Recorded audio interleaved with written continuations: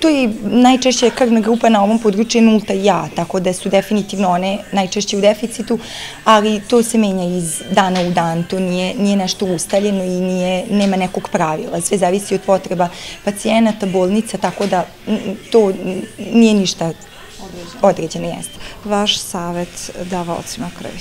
E, savet da dolaze redovno, da daju krv u terminu kad je to adekvatno, muškarci na tri meseca, žene na četiri, ne mogu da daju krv pre isteka tog perioda.